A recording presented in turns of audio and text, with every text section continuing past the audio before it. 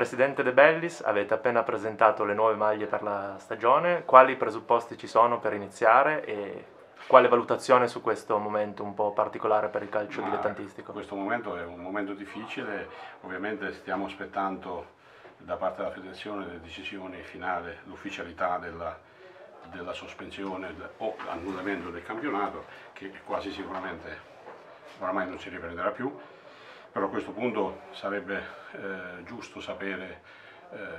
l'ufficialità in modo che possiamo organizzarci per la ripresa, anche da noi c'è tanta voglia, come avete visto abbiamo presentato queste maglie, sono già pronte per, la, per questa primavera,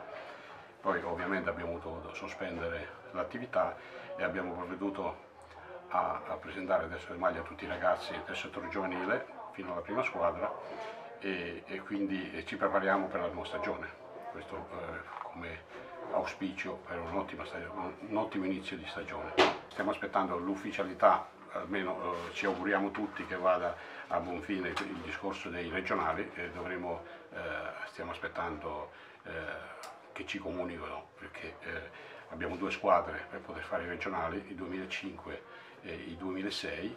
e eventualmente anche il 2004 se, la, ci, la, se, ci, viene data la possibilità faremo il ripescaggio, il, chiederemo il ripescaggio per il 2004.